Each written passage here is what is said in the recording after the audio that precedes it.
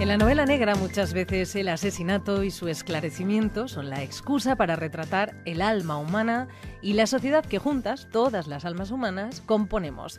Eso es lo que ha hecho el periodista Jorge Alacid en su primera novela, Los seres queridos. La historia de un periodista que a mediados de los 70, trabajando en un periódico de provincias, intenta esclarecer los suicidios que se están dando en la ciudad.